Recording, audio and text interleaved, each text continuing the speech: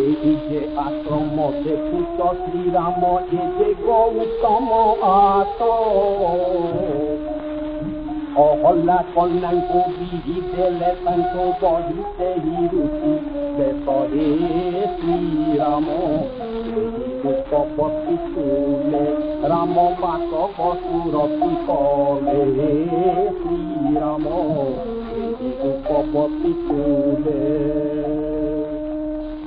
কান্তাকে ভিকারি হেলু বদচারি পররতে করি স্নেহ।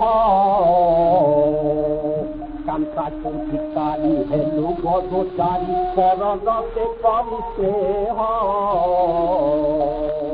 তোর মুখ চাহি যতলে তো নাই এ তুরে তুহে নর হরে শ্রীরাম। অজল মহিলা হয়ে এ বিধি খাও